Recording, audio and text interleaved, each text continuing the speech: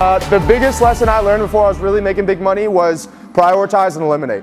So just like I said in the beginning, I was, I was offering like 100 different services for people, and number one, I didn't have enough time to give them the right enough amount of information and deliver on the services I was offering them. But number two, I wasn't building my business. So I started eliminating the bullshit in my life. Friends, family, no disrespect to people who have great family members, but family, look, I'm intense.